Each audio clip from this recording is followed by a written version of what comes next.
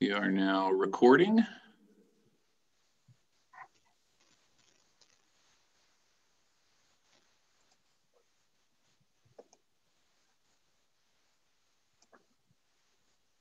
right.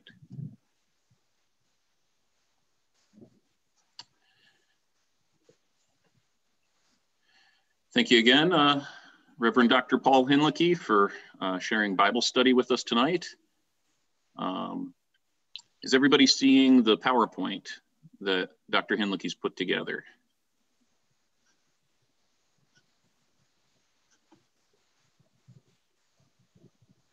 Does it seem that's working? Okay, thank you, Colleen. See your chat there.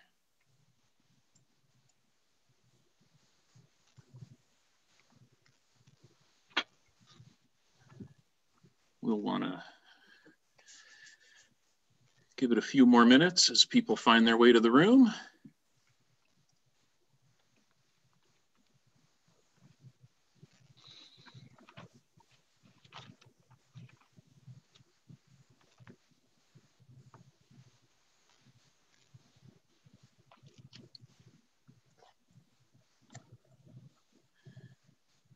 Hope everybody is staying warm.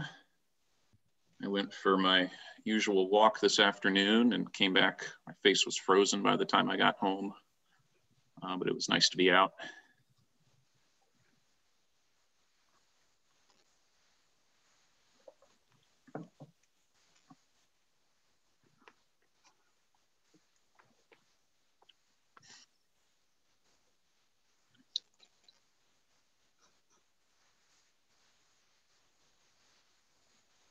We're down to 17 people who have not been assigned to a breakout room yet. So we're getting close. I hope the link to join uh, our Zoom session tonight was easier to find uh, than it was the last couple days. I'm seeing some thumbs up. It's good to see. Um, what I have found throughout the pandemic is um, as we've been using new technology, we keep uh, fixing last week's problem at church uh, in terms of the camera and the sound and streaming on the web and stuff like that. And um, uh, with Zoom, it's been a little bit of that this week um, with uh, Power in the Spirit. We've tried some new things, and that's meant uh, encountering some new challenges we hadn't faced before. But um, we're very fortunate to have people in the Synod office uh, like Tammy and uh, Lene, Becky, and Emily who work on this stuff. So we can do things like this. I have a question. I'm in the breakout room, but it says I'm viewing your screen. Yes. Uh, do you see um, where it says Power in the Spirit Bible yes. Study? Yeah. Yes.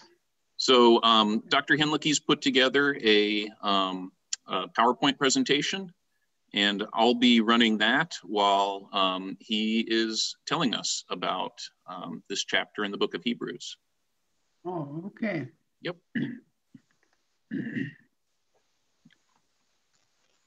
Two, eight, three, two.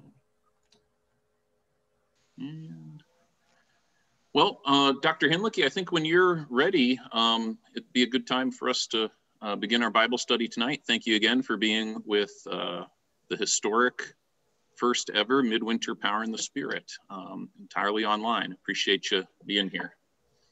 Thank you, Pastor Dave. I'm pleased to be invited.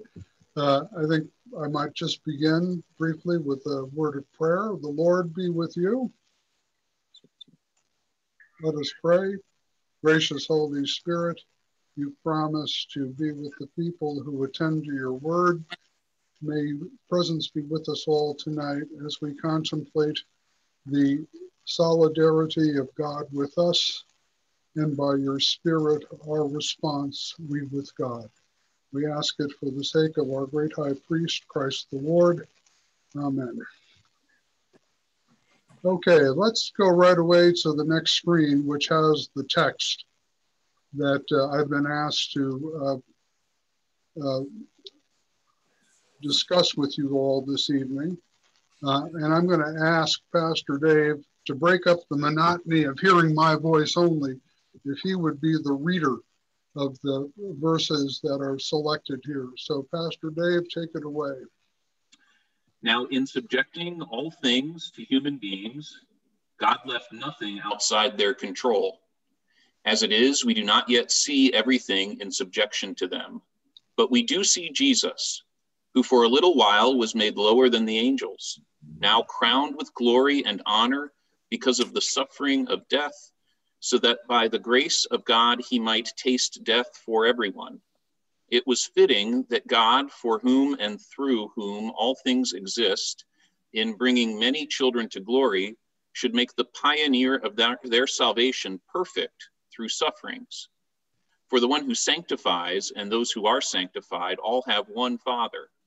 For this reason, Jesus is not ashamed to call them brothers and sisters, saying, I will proclaim your name to my brothers and sisters. In the midst of the congregation, I will praise you. And again, I will put my trust in him. And again, here am I and the children whom God has given me. Since therefore the children share flesh and blood, he himself likewise shared the same things, so that through death he might destroy the one who has the power of death, that is, the devil, and free those who all their lives were held in slavery by the fear of death. For it is clear that he did not come to help angels but the descendants of Abraham. Therefore, he had to become like his brothers and sisters in every respect, so that he might be a merciful and faithful high priest in the service of God to make a sacrifice of atonement for the sins of the people. Because he himself was tested by what he suffered, he is able to help those who are being tested. Let's begin just with some basic observations about this text.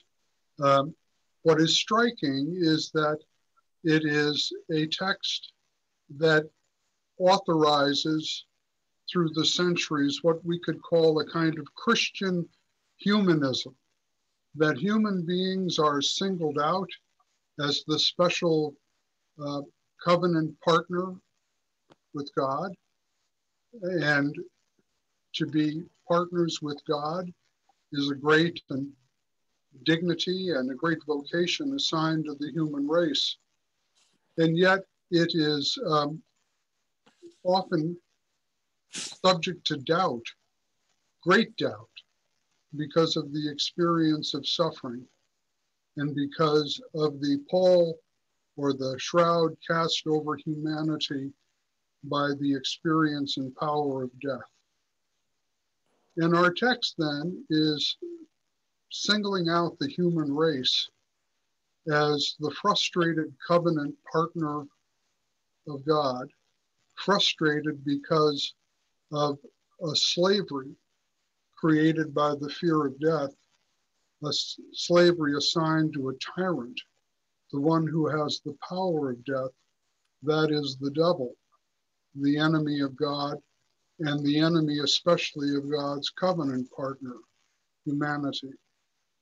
And so the text is talking about how, uh, through the uh, incarnation, suffering, death, and exaltation of Jesus, this frustrated humanity is once again being rescued and redeemed and restored to its vocation. And this restoration of the human race to its vocation as the covenant partner of God comes about through the high priestly office of the crucified and exalted Jesus Christ, who is now the high priest in the heavenly places, as we'll see in detail as we go on through the study of the text.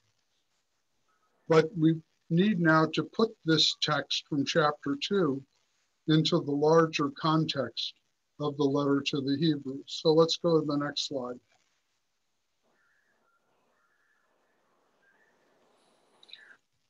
If we look carefully at the letter to the Hebrews, uh, we see that the treatise letter is motivated by the author's perceived perception of a danger in the, his Christian community, a danger that ranges from neglect of the community, uh, falling away from the means of grace, from the assembly of the community, uh, a neglect that can easily slide into apostasy on account of the fear of persecution. Now, we don't know concretely what the author is referring to. It's difficult to locate the letter to the Hebrews in a specific time and place, though we can say generally it's sometime after the death of the Apostle Paul and sometime after the destruction of the temple in Jerusalem in the year 70 of the first uh, century.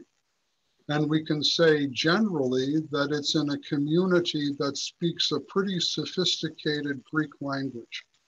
So many have suggested perhaps Alexandria in Egypt, where there was a large Hellenistic Jewish uh, population and an early Christian community. In any case, we have some clues from the letter to the Hebrews itself about the situation in life to which the treatise is addressed. And these here are four verses, I'll ask Pastor Dave to read them one by one, uh, that tell us, uh, that clue us in to the situation in life that the letter is addressing. Therefore, we must pay greater attention to what we have heard so that we do not drift away from it. Hebrews chapter 2, verse 1. Take care lest there be in any of you an evil, unbelieving heart, leading you to fall away from the living God. Hebrews chapter 3, verse 12. Do not neglect to meet together, as is the habit of some but encouraging one another, and all the more as you see the day drawing near. Hebrews chapter 10, verse 25. But recall those earlier days when, after you had been enlightened, you endured a hard struggle with sufferings, sometimes being publicly exposed to abuse and persecution, and sometimes being partners with those so treated. For you had compassion for those who were in prison and you cheerfully accepted the plundering of your possessions, knowing that you yourselves possessed something better and more lasting. Hebrews chapter 10, verse 32. Okay, so what we can gather from these exhortations, uh, they're all exhortations, by the way, they're imperatives, they're encouragements. Uh, what we can gather is that earlier in the community's history, they endured a hard struggle, a persecution. And they, in this struggle, uh, they uh, endured with compassion for those who were in prison. They were in solidarity with the persecuted. And they even accepted the um, uh, theft, the plundering of their own possessions. Very interestingly, why they tolerated that abuse is the author says because they themselves had a possession something better and more lasting. And we'll see that that is for the author of the letter to the hebrews the hope of eternal life and glory with christ. And then in looking back on that what we see is that some uh, are no longer paying attention to the Christian message that had first enlightened them. And because they're not paying attention to that, they're drifting away from it. And because they are drifting, excuse me, because they're drifting away uh, from that fundamental, basic Christian message, uh, evil and unbelieving hearts are developing leading them away from the living God. Uh, this is a consequence of their failing to, to meet together, uh, where the encouragement uh, of one another in faith takes place and the reinforcement of faith by attention to the Christian message uh, takes place. So I think all of that uh, is quite interesting uh, because what the author of Hebrews is going to be showing us is that it matters to whom you give your ear. It matters uh, on where you focus your eyes. Uh, because we are embodied creatures, uh, we are not able to create ourselves or to create our own uh, identities or to create our own destinies. We are always dependent on the information that is coming into us from outside of ourselves. But the world is full of gospels. The world is full of messages of salvation. The world is full of all sorts of glitter and glamour and attractions. So, where are you looking? To what are you lending your ear? This is not a question of neutrality. If you're not uh, attending to that basic Christian message, you will not have the, um, the believing heart which is able to encourage others in times of hard struggle or yourself to survive in times of being tested. Okay, let's go to the next slide.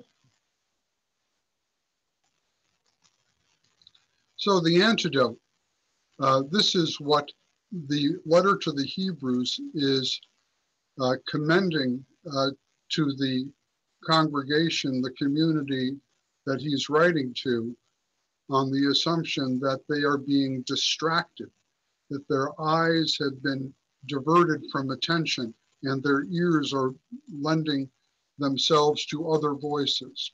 Uh, Pastor Dave, if you would read that, please. Look to Jesus, the pioneer and perfecter of our faith, who for the sake of the joy that was set before him endured the cross, disregarding its shame and has taken his seat at the right hand of the throne of God. Consider him who endured such hostility against himself from sinners, so that you may not grow weary or lose heart. Hebrews 12, verse 2. Okay, look and consider. Look, focus on the picture that the gospel narrative gives you of Jesus who set his face to go up to Jerusalem, who pioneered this path. The Gospel of Luke calls it a new Exodus. Uh, after the Transfiguration story, Jesus set his face to go up uh, to Jerusalem and discuss the Exodus that he was about to uh, uh, endure, referring to his passage through the cross uh, to the crown. So it is Jesus who is the pioneer, the trailblazer, the one who cuts the path in the new Exodus. And in this way is the perfecter of our faith. That is to say, he's the one who completes uh, our faith. Uh, and when you look at Jesus, the author will suggest later on, you are in fact uh, attending to Jesus the pioneer, and in this way, you're actually participating in his own uh, trailblazing path uh, through life. And of course, that's not meant literally. Sometimes the call to discipleship can you can get the impression uh, that whatever Jesus did, you have to imitate. Uh, this is a misunderstanding. The only way you could imitate Jesus or literally follow Jesus would be to get in some kind of science fiction time machine and fly back to the dusty byways of Galilee and find him there. And there, literally, you could follow him on his path. But the meaning here of following Jesus is not an imitation. Martin Luther put it this way it's not an imitate, imitatio carnis, it's not an imitation of the flesh literally to go back to Galilee and follow Jesus through the highways and byways. It's an imitatio mentis, it's an imitation of the mind. To have the mind of Christ, as Paul talks about in Philippians 2. And the mind of Christ was the willingness and the deliberate, deliberateness with which Jesus, for the sake of the joy that was set before him, that is to say, the destination of his exodus, his entry into the holy, holy of gods. For the sake of that joy, his mind was to endure the cross, disregarding its shame, and thus to take his seat at the right hand of the throne of God. Looking to Jesus, that's the model that you see in his mind, his mentality. And the mind of Christ is to be yours by looking at Jesus in his intention. Likewise, then, you are to consider it not only looking to Jesus as the exemplar, the pioneer, the model, but you are to consider him, to uh, think it over, think th- it through with your mind, how he endured such hostility from sinners, uh, so that that reflection on Jesus, who trailblazed this path for us, strengthens and encourages you when you likewise endure uh, hostility. That's the antidote that the letter of he- Hebrews is recommending to a congregation uh, suffering from malaise, from neglect of the means of grace, from indifference and adrift into uh, falling away into apostasy, and uh, also then in that context from the fear of future persecution uh, and shame and suffering. Yeah, next slide, please.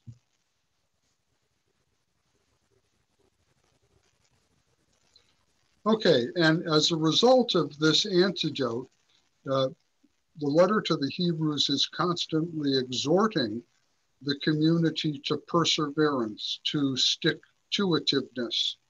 Uh, and therefore, uh, Brother Dave, if you would read these passages from Hebrews.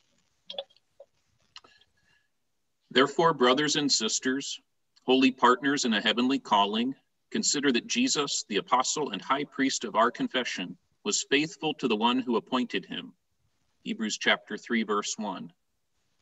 Since then we have a great high priest who has passed through the heavens, Jesus, the Son of God, let us hold fast to our confession. Hebrews 4 14. For we have become partners of Christ, if only we hold our first confidence firm to the end. Hebrews 3 14. Let us hold fast to the confession of our hope without wavering, for he who has promised is faithful. Hebrews 10 23. Jesus also suffered outside the city gate in order to sanctify the people by his own blood. Let us then go to him outside the camp and bear the abuse he endured. Hebrews 13 12. Yeah, thank you, uh, Pastor Dave. There, there's a number of things here to notice that I think are really interesting. Uh,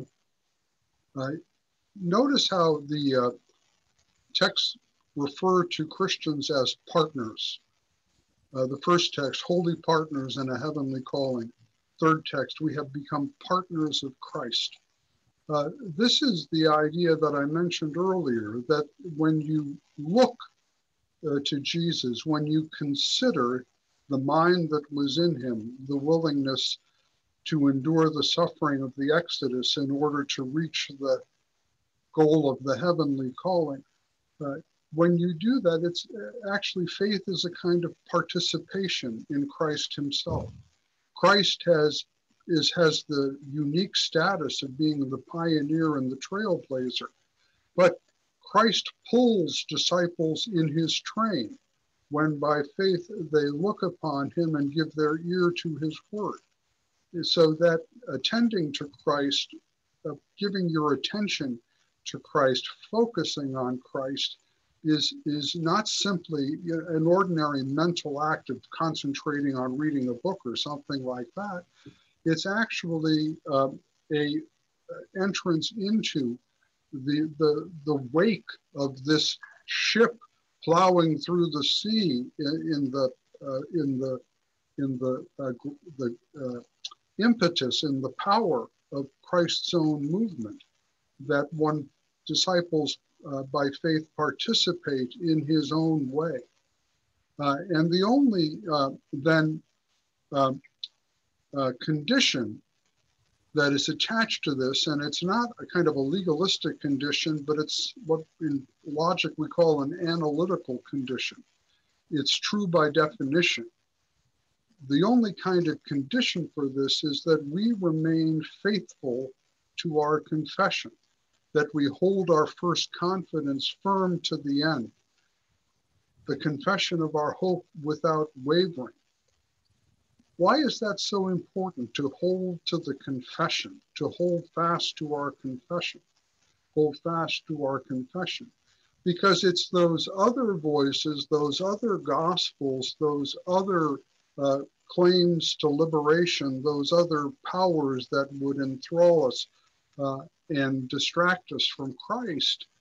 Uh, it is those other powers that would detach us from this participation in Christ. And it's that confession of Christ which in turn provokes their hostility.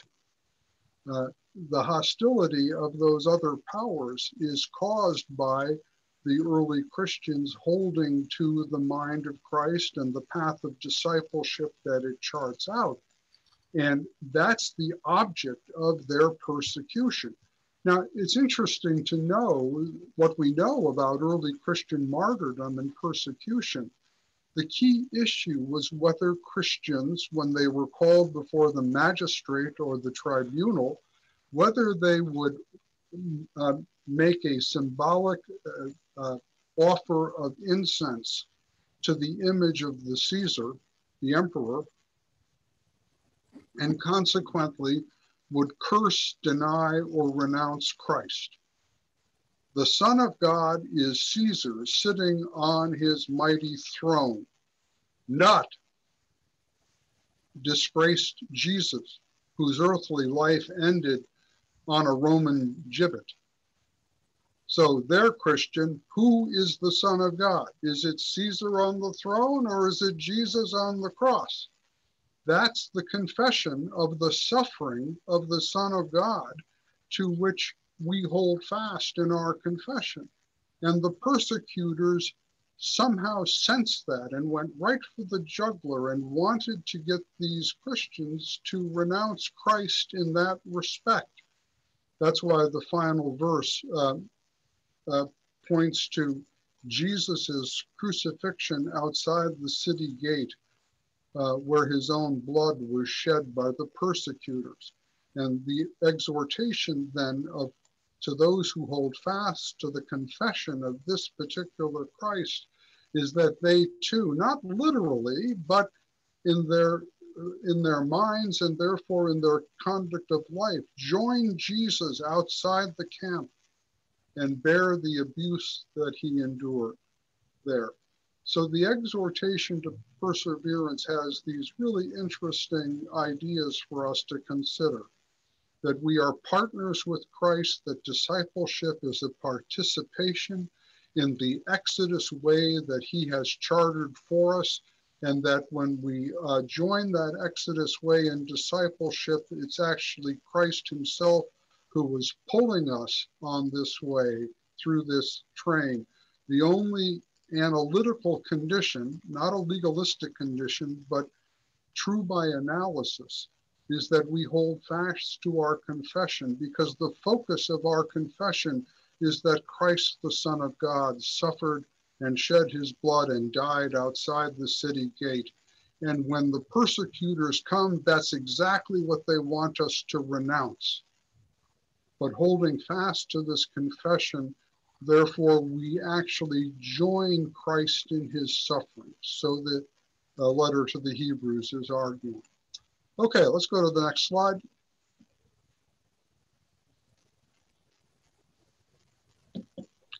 And here too, uh, now this is the idea uh, of the letter to the Hebrews that Jesus has in his own Exodus trailblazing the way for us Jesus has um, become, entered the Holy of Holies and become our great high priest.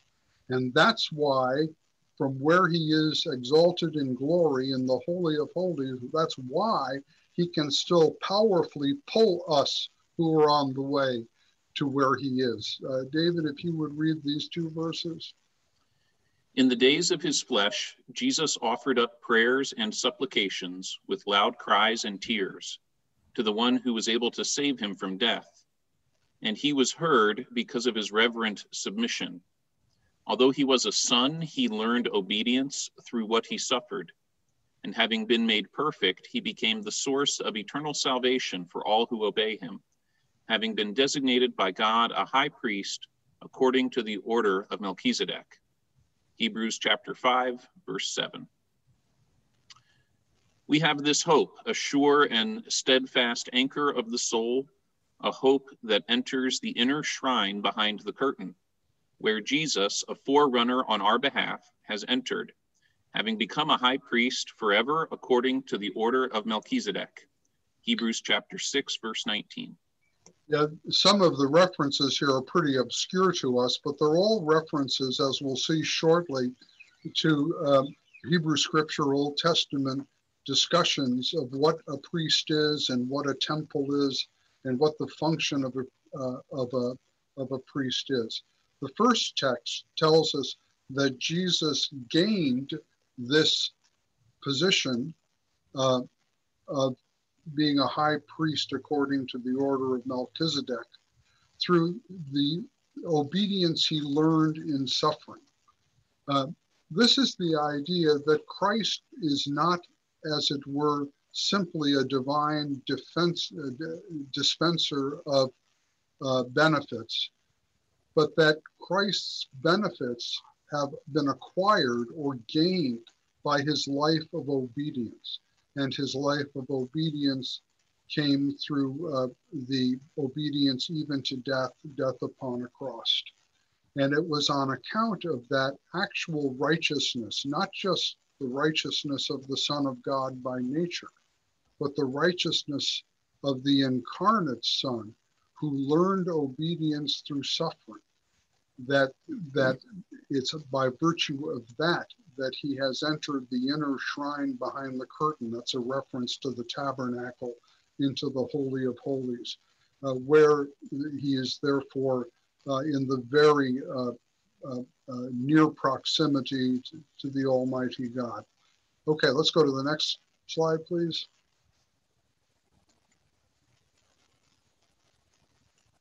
Okay, so here's some background. Uh, what does this obscure references to Melchizedek and the Holy of Holies and so forth and being a high priest, what does it all mean? Well, here the Hebrew scripture background is important. Uh, on the high priest, the high priest is the one who makes atonement for the whole congregation. You can read that in Leviticus chapter 4.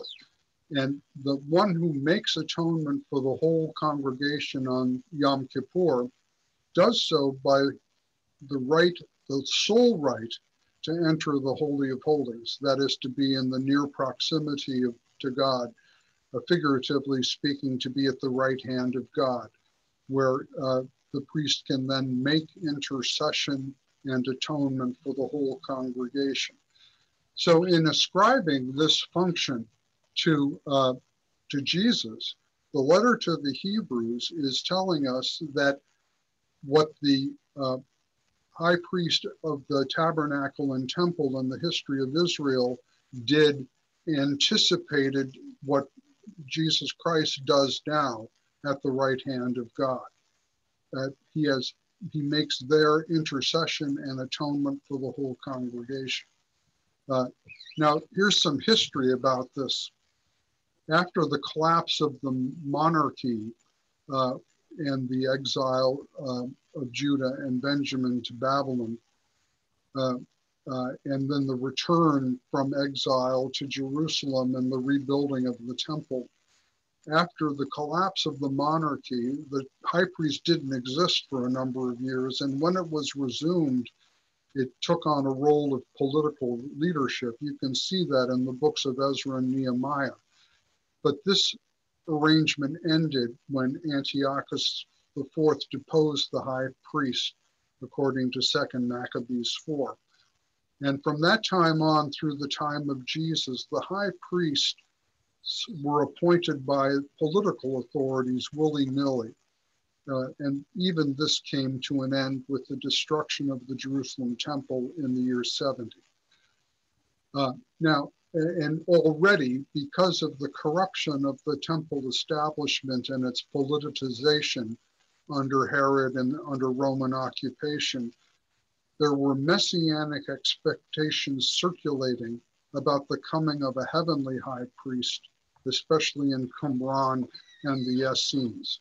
So what, what you have here, I think for the letter to the Hebrews, is the disaster of the year 70 when the Jerusalem temple was destroyed and its worship was ended and there was no more earthly priest uh, in Jerusalem in the temple on earth.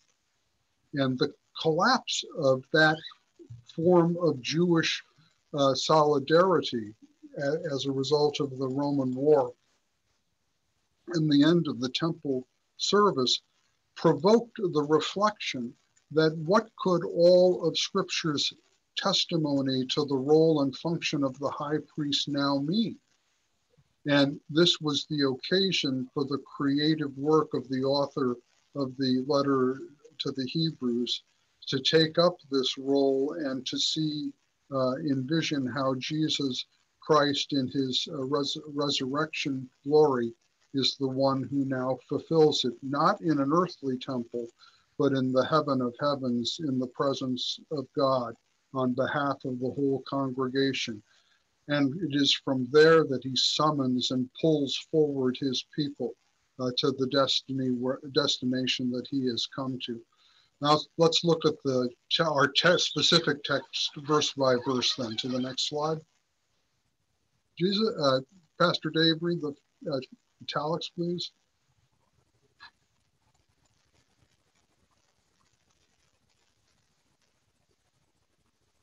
There we go.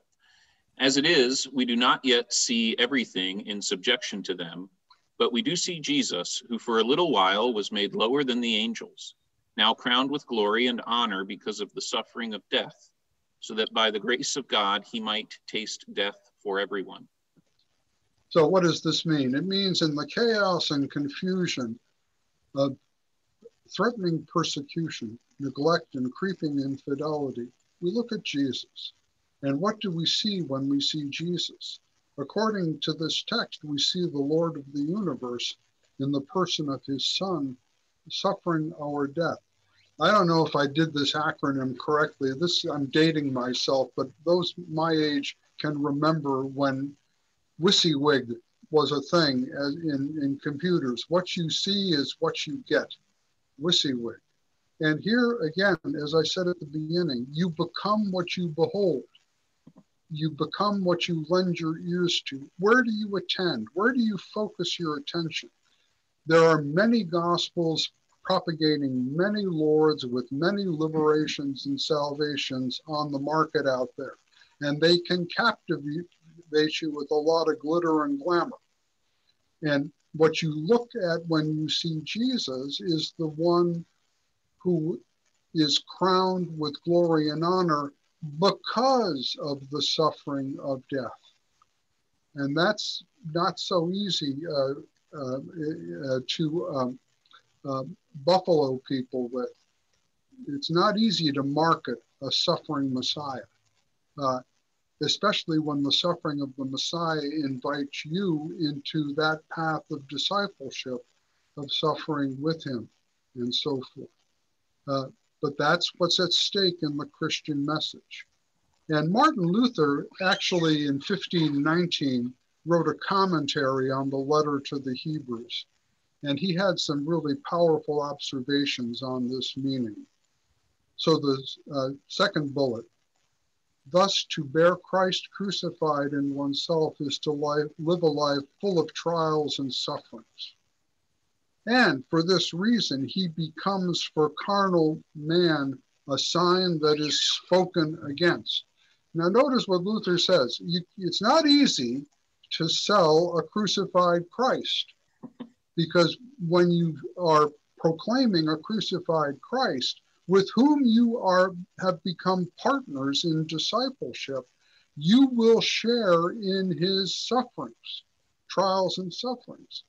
And that's why, for uh, people whose minds are not spiritual but carnal, to use Paul the Apostle's language, uh, he is uh, rejected, a sign that is spoken against. Positively, Luther continues, for spiritual people, not carnal people, here the Holy Spirit consoles us in order that in the time of suffering we may have patience and hope. Tribulation lasts for a little while, but the consolation is eternal. This is, of course, the idea of St. Paul in Romans 8 that the sufferings of this present age are not worthy to be compared to the glory which is to come. And so we see that for the letter to the Hebrews, like for Romans 8, uh, Jesus has uh, uh, attained to the destination of a redeemed humanity, of eternal life in the presence of God. Uh, and that is the pearl of great price. That's what's worth bearing the suffering, the trial, and uh, enduring uh, uh the, the cost of discipleship. Next slide, please.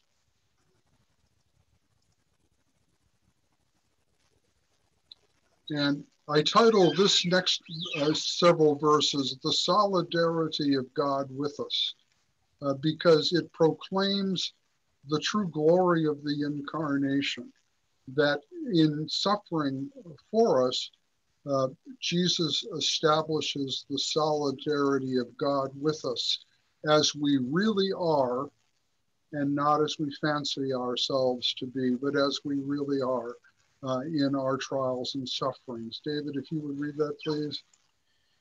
It was fitting that God, for whom and through whom all things exist, in bringing many children to glory, should make the pioneer of their salvation perfect through sufferings. For the one who sanctifies and those who are sanctified all have one Father. For this reason, Jesus is not ashamed to call them brothers and sisters saying, I will proclaim your name to my brothers and sisters. In the midst of the congregation, I will praise you. And again, I will put my trust in him. And again, here am I and the children whom God has given me. I, for this reason, Jesus is not ashamed to call them brothers and sisters. Uh, this is really actually quite remarkable because many of us brothers and sisters are ashamed of ourselves. Shame is a dirty little secret. It's a part of human life and it's a power play with which we shame others and uh, become ashamed ourselves. Uh, in Paul Gerhardt's great Advent hymn, we hear the line, I stood my shame bemoaning. You came to honor me, confessing this Jesus who uh, uh, uh, should make the uh, this Jesus who is not ashamed to join us in our sorrows and woes and difficulties. Uh, and that I think is something that's quite remarkable. It's kind of easy to proclaim a cheap incarnation that everything is grace and everything sweetness and light and God is in everything or something like that. And the rubber hits the road when you talk about the solidarity of God with us in our sorrows, woes, and difficulties. And that's, of course, where we need the message of the gospel of Christ the most because in our own sorrows, woes, and difficulties, they're always uh, compromised or they're always amplified by a sense of shame that I'm failing, that I'm falling apart, that I'm not standing up, that I'm not healthy, that I'm not wealthy, that I'm not wise. And all these kinds of attacks on our basic humanity, which is, as we heard shortly now, is the work of the devil. Next slide, please.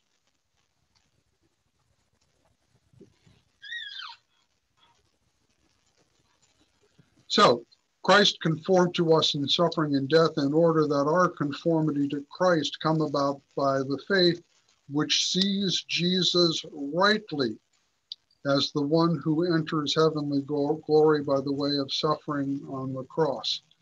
And here Luther has a couple of really powerful thoughts about this that I've been kind of emphasizing. Uh, what spectacle do you attend? To what message do you lend your ears? Luther writes, thus through the gospel, as through a spectacle exhibited to the whole world, Christ attracts all by the knowledge and contemplation of himself and draws them away from the things to which they have clung in the world. In this way, Christ is the cause and leader of salvation, for he draws and leads. Now, notice this next comment. I think this is so uh, significant.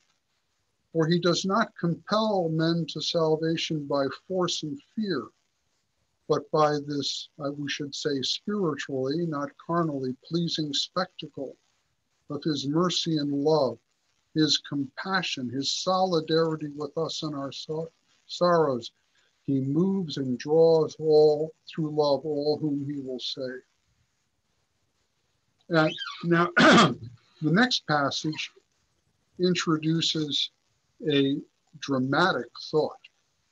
How does this spectacle actually work to, to liberate us, to set us free from the fear of death and the tyranny of the devil?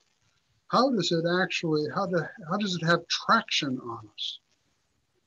How does it actually work to do this? How does this spectacle grab a hold of us, take hold of us, and pull us to that heavenly goal? And this is what Luther says. For just as Christ, by reason of his union with his immortal divinity, overcame death by dying, so also the Christian, by reason of his union with the immortal Christ, a union which comes about through faith in him, what I talked about earlier as being partners in Christ. So the Christian also overcomes death by dying. And now, this very interesting but difficult thought for us to understand. In this way, God destroys the devil through the devil himself and accomplishes his own work by means of an alien work.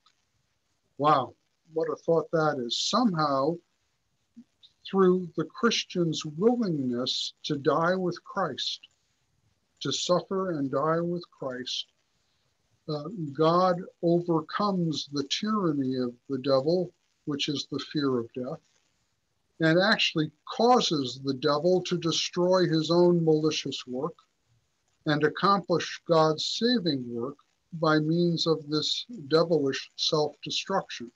That's what Luther's saying. What on earth can that mean? Next slide.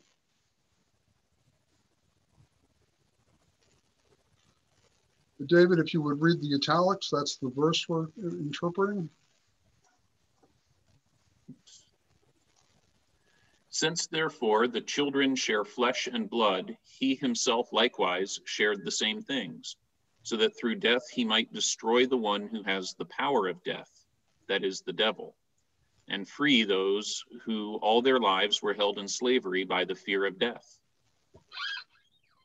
How does this happen? How does it is it that through death, Jesus, through his own dying, Jesus destroys the one who has the power of death, and and through his own death, frees those who all their lives were held in slavery by the fear of death. And the answer is God with us really means also we with God. God with us really establishes also we with God. The children share flesh and blood, and likewise, uh, um, Jesus shared the same things, God with us. But that means if God truly has been with us in the suffering and death of Christ, even in our death, we are with God. Now, God with us does not depend on our reciprocation in faith, hope, and love. God's love for us in Christ is unconditionally given and offered. God with us does not depend on our reciprocation, we with God. But surely God seeks us to be with God, and God's purpose is frustrated without this reciprocation, we with God. Now, Behind the sloth, neglect, and fear of suffering persecution, Hebrews diagnoses a fearful bondage attributed to the enemy of God, that liar and murderer from the beginning, the devil. So, how does it happen that this devil's lies and murdering is defeated? God with us is fulfilled, fulfilled when we, being sought and found even in the ultimate isolation of death, are liberated from fearful slavery through Christ's solidarity with us, producing our conformity to Christ. We with God, being conformed to Christ uh, through dying with him to sin and rising with him to newness of life. Next slide.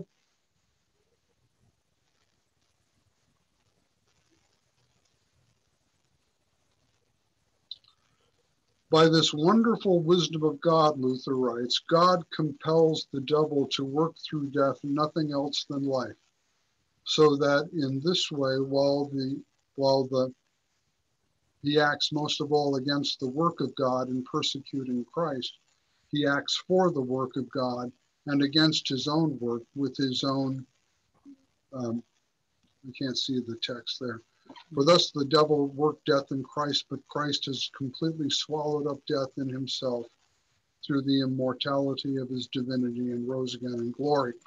This here Luther is picking up the patristic idea of the uh, of Christus victor, Christ's victory over the devil. Christ let himself be uh, persecuted and put to death by the devil, but the devil overreached in putting Christ to death, uh, he then unveiled his divinity and overpowered the devil and deprived him of his right over humanity because the devil had overreached and uh, attacked the righteous Christ, who, in his powerful act of rising from the dead, uh, delegitimated the devil, took away his rights, and liberated his captives, the human race. And Christ uh, is therefore the victor over the devil. Uh, and this patristic motif Luther here is picking up for us. Next slide.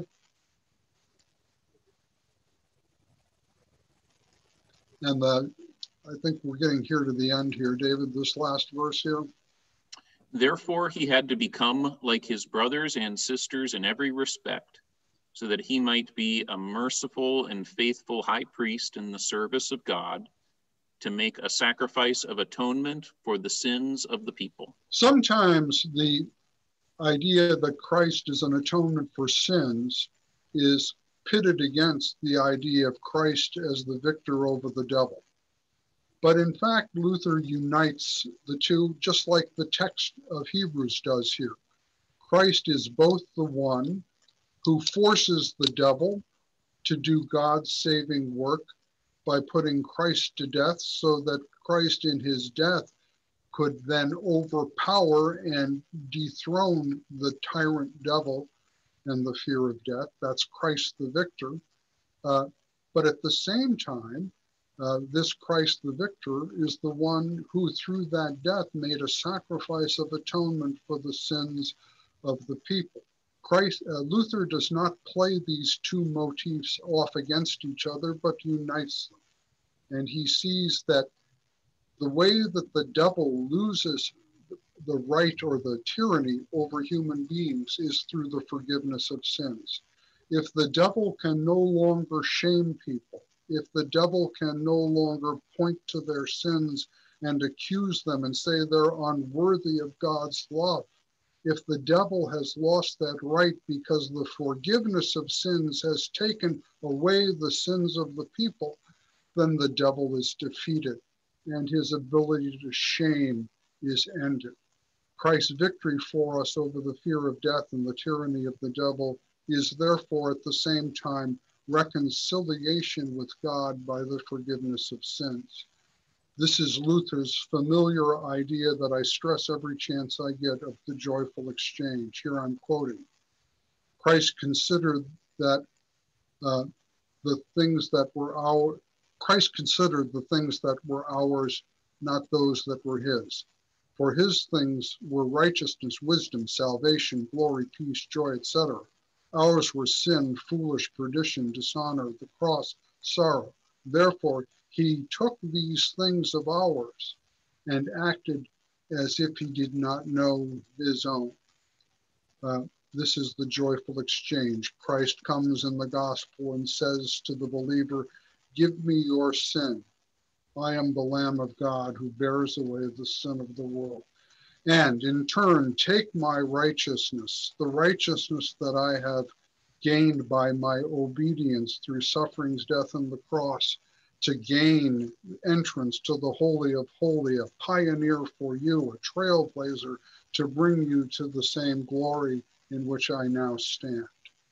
That's the joyful exchange. Christ takes all our negatives in order to give us all of his positives.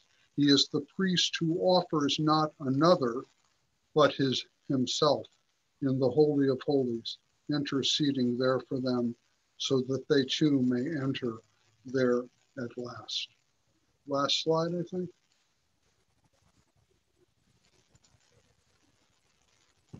Is this the last slide, David? Uh, I can't tell. Let's see. Yes, Okay. I think so. Oh, Yep. no, put it Nope. back up for a minute. That's hard. There we go. All right, would you read the text, please, at the top? Yep. Yeah. Because he himself was tested by what he suffered, he is able to help those who are being tested. All right, how is Christ able to help us who are in trial and affliction? Victory over the devil and fear of death and peace with God by the forgiveness of sins through the intercession of Christ our high priest yields in us believers the new freedom. The new freedom, or the Augsburg Confession calls this new freedom the new obedience to glorify God by sharing with others the love in which we have been loved. It's really true. God with us enables us to be with God, we with God. God with us, we with God. That God with us does not depend on we being with God, but it surely seeks and desires us to be with God. Therefore, when by neglect or apathy we cease to look to Jesus as he is portrayed in the gospel, we fall back into fear, and in fear, the temptation to neglect apostasy becomes powerful and easily rationalized. When the spectacle on display in the churches is anything other than the way Jesus pioneered for his people, that church itself has fallen away. For the letter to the Hebrews, nothing truly helps but looking at Jesus, who can and does help this way in the time of trial. Okay, thanks everybody for your attention. Uh, we have some minutes left here, I think, for a little discussion if anybody wants to raise a question or an objection or a comment. I think what I'll suggest is if you find the chat feature, um, that would uh, that's a great way since there's about 42 of us that's a great way to start submitting um, some questions and i'll be happy to read those and while people are finding that it should be depending on what device you're on um, there's a chat feature towards the bottom of your screen um, dr hinlicky i thank you for your presentation i'm curious um, knowing that our church, we're from many different churches here tonight, and churches are in various stages of coming together and also staying apart given the situation of the last year. Yeah. And um, I'm curious if you have any uh, idea what it means to keep um, um, keep our focus in the right place as we start taking those steps together um, to back together and um, uh, what what we need to avoid um, letting have our attention. Uh, this is a um, a time. It's a fraught time for a lot of churches as it we're sure navigating the the time ahead of us. I think it's a, you asked my opinion. This is not the gospel, it's just my opinion. But in, in my considered opinion, and I think this aligns with the message from the letter to the Hebrews, the pandemic has been a time of winnowing for the churches. It's been a d- divine shakeup. What really are you about and what really do you stand for? To whom really do you give your ear? Where really are you attending? What are you looking to? What is the central message of the church, the message that only the church can provide? And if the church does not provide it, it is not spoken at all. I think these are very probing questions put to all of us. And as we think about rebuilding congregational life, when at last uh, the isolation and uh, uh, caused by the lockdowns and the pandemic, and also the depression and anxiety and fear caused by the economic catastrophe associated with the virus, uh, in this past year, which is also threatening the vitality of our congregations. Uh, how will we rebuild? On what basis? When this past year has also meant so many people have been lending their ears to perhaps to other messages and putting their focus on other distractions. I just leave those as questions. Thank you.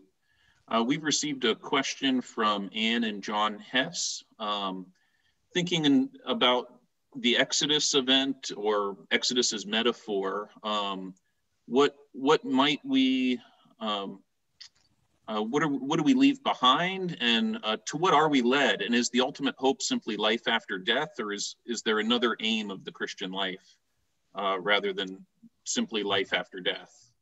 Well, I certainly think it's it's it's it's more more than a, or not simply life after death, but of course the letter to the Hebrews uh, would want to put it this way: it's not simply my personal immortality; it is my joining that great cloud of witnesses in the eternal beloved community of God, and how that is to be conceived is certainly something more than simply some kind of personal psychological survival of death. It's rather the victory of the God of life over all the forces of death. It's rather the victory of community over isolation. It's rather the victory of faith over doubt. Uh, you can go on and on and on, articulating positively. Uh, but the fundamental metaphor scriptural type, I would say even stronger than metaphor, of Exodus is, is extremely important here. One leaves behind the disgrace of Egypt. One leaves behind the life in under tyranny, the life of slavery. One leaves behind the forgetfulness of God. One uh, comes to the promised land flowing with milk and honey. One comes to uh, uh, the uh, new life lived in equality and peace and righteousness and holiness on the earth. Uh, so, you know, the letter to the Hebrews does have a kind of um, Platonic cast, you know, going from the earthly to the heavenly. Uh, but we can balance that with other uh, New Testament witnesses. And for me, for example, most of all, above all, it's Romans chapter 8, which tells us about the vindication of the whole suffering creation uh, by the glorious liberty of the children of God.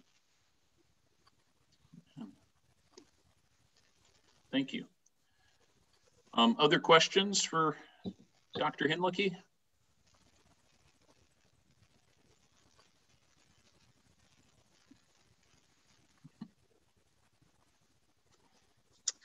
Probably have one or two. Oh, we've got a long one here. Let's see. Oh, this is from Dave Delaney. Uh, Dave, do you want to read your question? I don't want to read your question. I can do it. Thank well, you. it's just that when you know, for years, Paul, when I've been, whenever I'd read Hebrews and just kind of really get into it, it's it's it can feel awfully conditioned oriented. I mean, it's like you know you're you're it's like you're either with us or you're against us. I mean it, it, you can read it that way. And i'm often tempted to fall into that. And i'm I, I either end up worrying that the requirements are more than i can do. And i think oh boy forget this. Or, or i end up tempted to use those conditions as a kind of weapon against those who i judge to be lazy. And i think well i want to know who's on the inside. And i want to know who's on the outside. So is there a guiding phrase or a short reminder that I that I can just keep close at hand when I'm reading this book to turn to as a way of reorienting reorienting myself when I'm reading this letter? You know, I'm thinking of Luther's, like when he was tempted, he would say, "I remember that I'm baptized." Something that pithy and close at hand. Uh, what's a good thing for reading Hebrews that that helps? Look to Jesus, the author and pioneer of our faith. I guess that's about that's that's the, to me the antidote. That's that's the fundamental exhortation. Uh, now you're right; it is an exhortation. It's not a promise. It's an exhortation. It's an instruction. Uh, and I think we have to understand that the genre that the author of the letter employs reflects the urgent situation of apostasy and persecution. I think that under those dire circumstances, we can allow for this stylistic, this is not the sweet promises of the gospel kind of literature that Luther uh, always encourage us, uh, is us to frame our reading of the New Testament with. But it is like the book of Revelation. It's written to a situation in which uh, apostasy and persecution are on the horizon. And people are getting distracted, neglecting word and sacrament, falling away from the community, failing to encourage one another, and so forth. In other words, and the author wants, through this whole treatise, to show us again and again and again, to show us Jesus, the author and pioneer of our faith. Uh, I think that's how I would have to answer this question. By the way, your anxiety about this is not off, uh, off base. There is a passage early in the letter to the Hebrews, I can't remember the chapter and verse exactly, which says, having once been enlightened, there is no second repentance. Now, this is uh, um, seems to be saying that if you sin after baptism, baby, you've lost it all. and this is how this text was interpreted by the Donatists uh, in the early church and how it was interpreted in the medieval Catholic tradition that uh, if you sin after baptism, you've fallen out of grace. And that's why the medieval church developed a sacrament of penitence in which you actually had to restore. Uh, uh, penance was a second, uh, uh, uh, a second plank thrown out of people who have made a shipwreck of their baptism, so that you could swim your way back into a state of grace through penance, right? So yes, there is. You can read if you don't take into account the context of persecution and which which uh, on the face of it you can misunderstand some of these rather dire exhortations i think. Great. Uh, we have about three two minutes left and we've got a question. Uh, did god or the devil require that jesus be crucified? Two minutes. Well according to jesus god did didn't he? Right that's right garden of gethsemane uh, in the three passion predictions in the gospel, Jesus uses the divine passive. It is necessary that the Son of Man uh, be rejected and uh, suffer and be crucified, etc. Uh, uh, but in the Gospel of Luke, uh, it's the devil who enters into the heart of Judas and provokes him to betray Christ. And when Christ is erect, uh, arrested in the Gospel of Luke, Jesus says, Put away your weapons, for this is your hour and the power of darkness. So the answer to the question is not either or. In some way, it's both. And that's kind of what, what Luther is pointing at when he says he, God uses the devil uh, to do his uh, to do a work that destroys the devil and accomplishes God's purpose. The devil is not the equal of God, and whatever the devil is permitted to do is permitted by divine permission, uh, and ultimately under the sovereignty of God. I'm answering that from the perspective of Luther. 30 seconds to go. Um, that's great. Thank you. Thank you, Dr. Hinlicky, uh, for spending time with Power in the Spirit uh, this week and sharing your reflections on um, fascinating chapter in the book of Hebrews. Uh, we will we will all, we can either leave the breakout room now or we will be booted back to the big room in nine seconds. So either way, I will see you all there. Okay, thank you all, bye-bye. Thank you.